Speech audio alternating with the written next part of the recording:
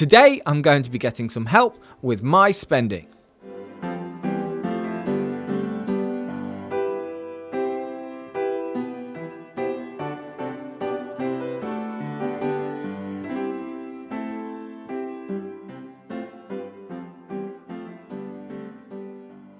Welcome back everyone, my name's Paul. Now, a lot of you might have seen my recent video on how I think wealth grows. In that video, I go through how I am allocating my money through investments and how through lockdown at least I've been saving a considerable amount. And in that video, a lot of you, rightfully so, pointed out that my expenses are really low, at about £600 a month. That includes like my mortgage, and it includes my car, all sorts of things like that. And a lot of people have been totally surprised by that, and you should be because it's not a normal situation for me to have such lower expenses. And I also didn't disclose in that video, well, I forgot to disclose that I've split that between myself and my partner. She even reminded me straight after that video, and I was like, God, I'm going to have to explain that one day, and I. So, yeah, that's my half of the expenses of my family. And that's because up until recently, we have split our expenses. My partner and I don't share our income, we share the bills in the house. Something that may or may not have changed very recently. Okay, I'm boring you now. I don't want to go through every caveat and everything that I missed in the last video. There's going to be a lot of things that I say that might need clarifying, but I can't just clarify everything, otherwise you'll get really bored. Before lockdown, I was spending absolutely loads on random crap. And then lockdown happened, investments start happening, and all this YouTube stuff started happening. So I really tightened up my finances. I tried to become as good as possible. And if we start to come out of these lockdowns, my spending might go up again. There's a lot of things that we just don't do at the moment, like going out to restaurants, going to sports, all that sort of stuff. And I put out a plea to anybody who would be willing to help me with my spending. And lots of you recommended Jennifer from Mama Fuffa as the one to go to for budgeting. So I reached out, and it turns out she's ridiculously helpful and she really loves budgeting. But what's been hardest for me, and I know a lot of you are going to be in the same position as this, is that I got started watching videos on YouTube. I was watching people like Graham Stephan and Mama Fuffa and Andrei Jikh and all that sort of stuff. And watching all those videos and reading all that stuff, taking in that information, that got me to change my mindset about money. If you've ever seen this channel before, it's all about me having absolutely no control over my finances. And then one day I've just woken up and gone, oh, maybe I should really think about this. And it's because investing and saving money has always been so alien to me. I was never taught about it. And again, I know lots of you are in this similar situation. But the latest battle has been that because I've changed my mindset and I've decided to maybe cut a bit of spending, maybe try and save more, my partner hasn't. She's just been sitting there watching Made in Chelsea or whatever and uh, hasn't really come round to my way of thinking yet. And if I ever talked about it, if I ever explained anything, it would always just end up in a massive raging argument. Because, like anyone who doesn't really want to change, it's very hard for you to actively try to change them. Trust me, I've tried it with like heroin addicts and everything. So what I did over the course of many, many months was I just left Graham Stephan videos on in the background. And every now and then, Graham's dashing good looks would catch her eye, and she'd also learn something about financials and investing. And eventually, this has opened up a conversation with us, and she's starting to see it my way. Grade A manipulation there, by the way. I'm, I'm proud of that. she's going to absolutely kill me when she sees this. Now, I know I'm going on a bit, but that's a really important part of this story because she's starting to see it very similar to how I do. Now, of course, I'm not necessarily going to be the guru of it all, but I've come to see things in a different light, and it might actually be improving our lives. And the thing that finally tipped her over the edge was when Jennifer said we should download her Money Stack spreadsheet. So we had a bit of a Zoom call and we decided we should collaborate on this project. And if you go over to her channel right now, you'll see that she goes through my finances and absolutely tears it apart. This is good. This is healthy. It's I'm growing. I'm growing as a person. so we got the money stack spreadsheet. We both sat down. That's me and my partner. And man, was it a fucking eye opener. Usually this would have been a massive raging argument, but today it was totally different. We really opened our eyes. We sat down and we went to it. And just take a moment here to ask yourself, have you ever sat down and really gone through what you spend in a month? If you have, then you know what I'm talking about. But if you haven't, oh my god, you're going to piss yourself. So we sat down together and we picked last October as the month that we were going to choose to go through and really pick apart our spending. That's outside of lockdown and quite a busy month for us last year. We figured that if lockdown ends, that would be what we're most likely to go back to. We promised not to rant, not to judge, we removed all throwable objects, and we really got down to it. And, and then we did our budget. It didn't take long, and we learned a lot about ourselves. And oh my god, you wouldn't believe what I spent my money on. McDonald's, it must be like 13, 14 times I went to McDonald's just in October. Oh god. The amount of money we're spending on food.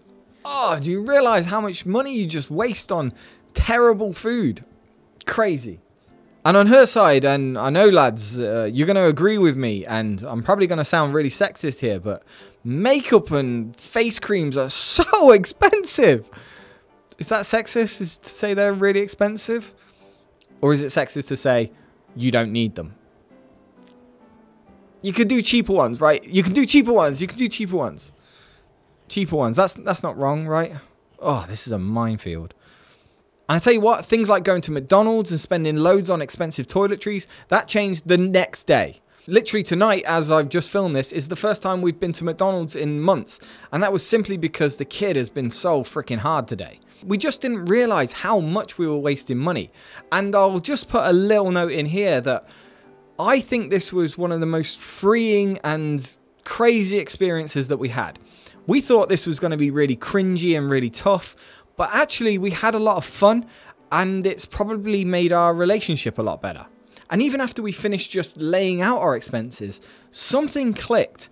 All the anger about our spending and all the worries about our money just kind of got a little bit better.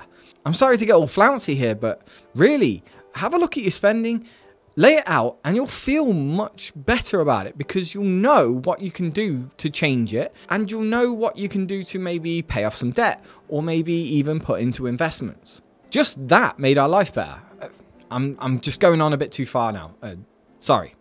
And then we passed it on to Jennifer, who went through it, and she's come up with some amazing things that we just didn't think about. She's even planned out a scenario where I might even be able to quit my job.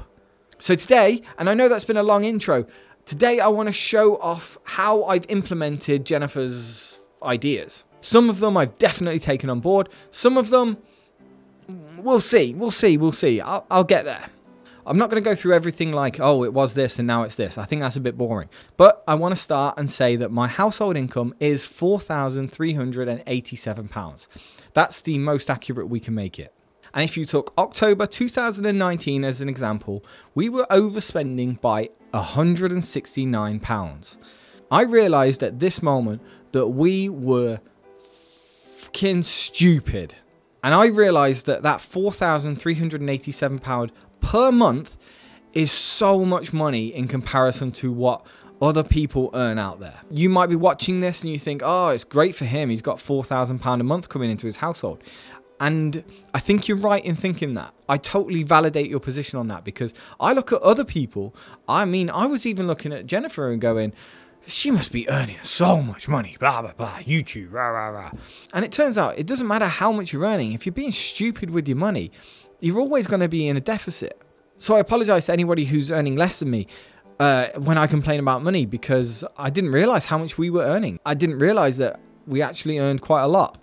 And a lot of other people are going to be thinking, oh, he only earns that. Yeah. So as a paramedic, not contributing to a pension, I earn £2,389 a month, and my partner earns £1,858 a month uh, doing what she does. And you can see that we were overspending on our budget by £169. So Jen's been through this and she's picked out a lot of things that we should probably be doing with our life. So I'm going to tell you what we have implemented, what we're probably not going to bring in, and then I'm going to tell you how I've implemented some of these things and just what a change it's made to our lives. And Jennifer started by adding, yes, adding 10% to our mortgage, as in she wants us to pay 10% of our mortgage off. Now, I admit we haven't started doing that yet. There's a few things that I need to bring in before we can start doing that, but I do believe that Jennifer's 10% rule on paying off debt is really important. So we will be implementing that as soon as we can. Also, we have a car loan. We've got two new kids and we needed a big fat car to stuff them into. I think we made a good decision because we went and got a Dacia Duster. Don't judge, in fact, praise, because I think we did a really good job at financing that car. But the car loan still exists, and because I paid for my car outright, and because we split our finances, that car payment has always been on her side. So joining us together has now made that car payment a little bit easier for all of us. And Jen still wants to make it our highest priority to pay off that debt. We had that conversation. It's a really low finance loan, much lower than what you can get in the stock market at the moment. But Jen makes a really good point. It's about your mindset. It's about clearing debt off your mind. It's the same thing everyone says about their mortgage. Once they've paid off their mortgage, they're free and they feel free. And she has kind of convinced me that if I can get that car loan paid off, we've got an extra 300 quid a month to just play with. We we do have a cleaner, and I know that sounds pretty snooty, but she's like a mate. And Jen and I didn't see eye to eye on this one. She just thinks I should be doing more cleaning.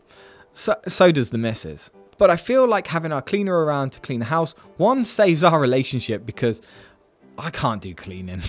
I don't know if any of the guys out there are the same as me, but I just don't have an eye for it. I think that I think this desk is really tidy, but it's so not. And two, I think I put a value on £24 a week as saving me a lot of time. I don't have to stress, I don't have to think about cleaning, and it's just one of the things, it's a mindset thing for me. I feel like I'm buying back time. Do you get that or not, or am I just so stuck up because I've got a cleaner? Let me know in the comments below. And then we come to the big one household shopping and takeaways. Oh man, we were spending like over 600 quid on random food and loads of takeaways particularly me on my job where I just kind of pop into shops and go snacking. I realise my job's quite stressful and tiring, but I need to have more discipline. Jennifer basically shook us and went, nah, down to 350. And we just started thinking more logically about what we're buying. and it worked. We haven't done anything like tracking shopping with apps or anything like that, or going around the supermarket and filming what I'm doing and stuff. But we have taken into account things like meal prepping. Well, I haven't, she has, but. but we are thinking about it a little bit more and i think as we get more used to that while it is a bit of a hassle now i think it could become habit later and maybe just become a normal part of our life and takeaways, we haven't done a single takeaway. Just today was the first time I've had McDonald's in a long time. The kids have been really hard today. We've had no sleep, and I had a pretty bad reaction to the second vaccine, so we've just decided to have a day off it. But it is just once, and we're sticking to that once a month takeaway thing. And we've saved ourselves 150 quid a month. That's three realty incomes. Or three Nicolas? Is Nicolas still $50? I don't care. Internet and mobile phone, I'm really, really good at this one. I basically win this one. She's the problem on this one. We're going to work on that. But I've already done the right things with my mobile phone, I think. I actually took out a 21 month interest free credit card and bought my, my phone on it. If you buy the phone outright and then get a £5 SIM card, you can save a ton of money. So I basically put myself on a contract, but it was totally interest free and totally commission free as well. Just have a good think about that one because I haven't done that one in two years and they might have caught up to that hack now. The next important part is a tough one giving. But I don't want to give to charity. Okay, so giving is a hard sell. But for Jennifer, and I completely commend this, it's a deal breaker for her. She believes in giving, firstly because it's nice, and second because it generates a wealthy mindset. I'm struggling to get behind this. But we're willing to try. We're going to start small. We're going to start less than this because I'm just trying to dip my toe into this. And you watching this, you must think this too, right? You must be thinking, oh man, giving stuff away. And trust me, go look at one of Jennifer's videos where she breaks down everything that she spends. She gives away so much money to charity. I just can't believe it. I cannot believe how much she gives away. So I'm going to try, baby steps, right? I'm currently trying to save just £20 a month into a big pot and then eventually we're just going to give it somewhere. I want to give it to some charity in one big go. I don't want to give it to one of the bigger charities because I know how much money gets wasted in those massive charities. I personally don't think there's any proper worthwhile charities in my local area. I think people in my local area just don't need the money. So it might be that I just save up this pot of money this year and then maybe one of you guys can suggest a charity for me to give it in, in your local area. If you suggest stuff, I'll check it out and maybe just send that money that way. Because I can't think of any charities off the top of my head. And then if we like it and we find it good and we find it has changed our mindset, we'll start to build up that pot a bit bigger next year. At least I hope so. This is a tough one and I'm going to try. And the next one Jennifer tore apart was my financial freedom goal. And this really surprised me because Jen bangs on about financial freedom all the time on her channel. So I thought I was going to get loads of praise from Jen on this one. I thought 1,000, 1,600 months savings straight into investments. She's going to love that. Nope. Jen wants me to vastly reduce my payments into financial freedom. I haven't done that yet. I've still got my goal of filling my ISA at the moment and I'm committed to that. I'm going to see. I like my investments growing. I like that pot of money growing. I like to see it compound bigger, not quicker. So this one, because I've recently locked onto this mad goal, I'm trying to consider it, but not right now. More on that one in a few minutes because to me, Jen puts in a massive game changer at the end. But I tell you what, the most important thing to us, especially the most important thing to the missus, she's not willing to come on camera and say it. But the thing that has helped us out the most is these sinking funds. Now, sinking funds are simply things that you save up for for regular purchases. So if there's anything in your life that you purchase regularly, like it could be bills, it could be gym memberships, anything like that, I should put it into a sinking fund and start to build up that pot. I should be saving money for it, and then when it comes to the time to be paying it off, I'll use that sinking fund to just get rid of that bill. So things like your car MOT, you know that's coming around every year, save up for it, and then on the month that the MOT comes in, you're not scrambling about to try and pay for it. I've done that for years, and on my MOT month, it's freaking horrible. But this year, on my MOT month, it was a breeze. It was brilliant. Christmases and birthdays, I'm totally against them, but apparently it's a thing we have to do. So, yeah, we have to save up for that now. I pay for my climbing and my gym membership yearly because it brings down that fee. That way, in that month, my investments don't suffer. And the way I've done this is through the banking app Monzo. Don't worry, not sponsored or nothing. This is literally what I've started doing because I think it's so easy to do. We've now got a joint account. We're bringing together our finances. So every month we pop 350 quid into that joint account and we're only allowed to use that money for that month. That's basically for our shopping, our toiletries, and any minor clothing things that we need to do. And right now it's the 11th of January and we still have £260 left for the month. We're absolutely killing it. We have brought down our shopping spend massively. And this has made it so easy. And then we've got these separate sinking funds. They're little savings account that you can open very easily in Monzo. So I've got a holiday pot, which we pop in £100 a month each month. That'll eventually get us a holiday or maybe two or three holidays a year. Things like Christmas presents, which I loathe, but we're saving £90 a month. That's for presents for other people for some reason. And so, yeah, I can't even give presents to people that I love. How am I going to afford giving to charity? we put £200 a month in just for the kids' stuff. And that's for any big activities that we might see coming in the future. I like going trampolining with my kids, that's good fun. Car payments, £153 a month. That's for both of our cars to get them MOT service, that sort of thing. But we've made a part based on last year's calculations. That's what we're putting in. Our help to buy loan, which is one of our absolute sins. That's one of the reasons why our mortgage is so low, because we do still owe a lot of money on our new build house. I'm going to do a video on Help to Buy because I think I've got good insight into how Help to Buy works. I've done it twice, and I think it could be the reason for the next UK housing crisis. That's a nice teaser for a future video, which I'll never get round to, right? Climbing, £41 a month, and giving £20 a month. These are all sinking funds that we've decided to make, and they're very easy to make through Monzo.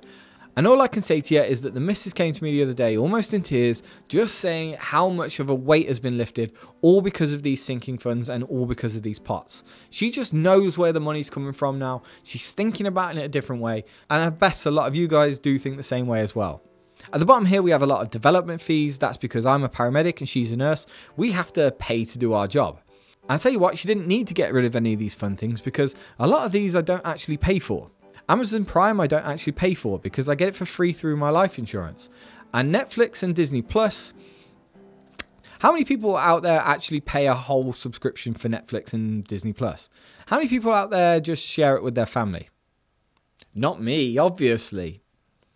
But when it came to the end of it, Jen managed to reduce our deficit down to 93p. And everything but 93p has been accounted for in this budget. And she's increased my debt payoff, she's increased my mortgage payoff, she's given me a holiday, she's given me Christmases, birthdays. She's done a good job. But that by no means is the best part. The best part is she actually made some calculations that could mean I go part time today. Jen's calculated that if we just make a few more changes, we might both be able to go part time. We might both be able to start having some freedom now. She's kept the 10% extra mortgage. She's kept the 10% extra car loan. She's brought the food budget down to 350 and we are trialing that heavily right now to see if we can do it. And as you saw earlier, we're doing pretty well. She made some cuts that we probably won't be willing or able to make, like childcare fees and cleaner fees. So that makes things a little bit different. She's kept the giving to charity and she wants me to give a lot to charity, in my opinion. We'll see. We're trying, Jen. We're trying. Just chill, baby steps, yeah? And a lot of our savings has come from reducing our financial freedom contributions. And that's where she got me. If the goal of this thing is to have more freedom and have more time and work less, then if I've got the opportunity to do that, why don't I just do that now? And this has given me a lot to think about because I don't actually see myself never working. I know at 60 or 70 I will definitely have to slow down. I can't be lugging drunks off the street for the rest of my life. So I will have to have some sort of financial backing in place. But my life is for living right and not working all the time, which is all I seem to be doing at the moment. It's all about the mindset, all about clearing your mortgage, or about clearing the debt. It makes you feel so much better. Maybe if I just cut down my expenses, I can choose when to work.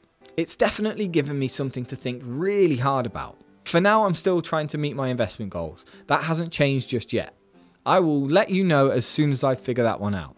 And trust me, I know people think this channel is quite big, but trust me, YouTube is not an option. I'm not earning that much off YouTube. And I'm also not convinced the ways that you can earn off YouTube are completely sustainable.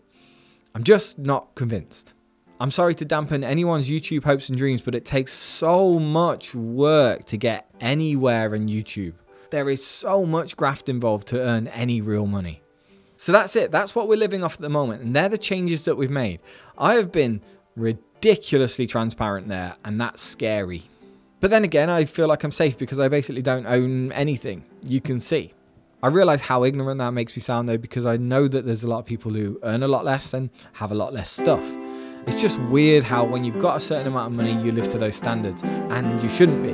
We should be trying to live below our means to save more money. Or maybe try and live a little bit below my means and have more time to spend with my kids and stuff. If you're in a similar boat to me and this has resonated with you, just let me know. I'd love to be able to talk to somebody who's in a similar position and maybe this could really help you out. If you've never seen Jennifer's channel, Mama Fuffa, then go see it. It's got so much value. She's pretty much the number one UK investment or finance channel out there. She knows her stuff and she's doing everything to help people. And go have a look at her spreadsheet, and yes, I paid for it as well. And in six months, I want to do another update and see if I've kept to these standards, see if we are still together. I want to see if we've managed to keep this up and see how much it's changed our lives. I know this saving thing is probably the most important part of investments. You have to build a base. You have to build up your investments by saving yourself. There isn't some magical thing that's going to get you to the moon. Even Tesla and Bitcoin would not be able to turn your £100 into a million pounds. You have to keep saving, you have to build that base.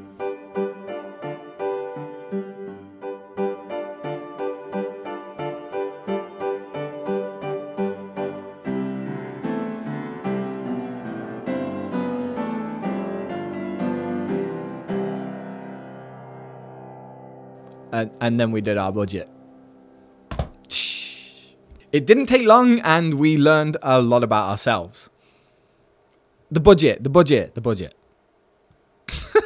Fucking dumb. I hope some. I hope some people just appreciate that joke. I, I hope some people just appreciate that joke for the the crap that it is. And on the comments, lots of you mentioned Mama Fuffa. Fuffa. Mama Fuffa? Fuffa Mama? Mama Fuffa? and lots of you mentioned Jennifer and Mama Fuffa. Jennifer, and Mama Fuffa. Bet she, uh, I bet she loves saying that, doesn't she? Hi, I'm Jennifer from Mama Fuffa. And lots of you recommended Jennifer from Mama Fuffa. I can't say it. I can't say it. And lots and lots of you and lots of you mentioned and lots of you recommended Jennifer. And lots of you How does she say it every week? Man. And lots of you and lots of you mentioned Jennifer from Mama Fuffa. oh my god, this is so hard. How do you do this, Jennifer? How do you say this every week? How do you say Jennifer from Mama Fuffa every week? How do you do it? and lots of you and lots of you recommended Jennifer from Mama Fuffa as the one to go to for budgeting.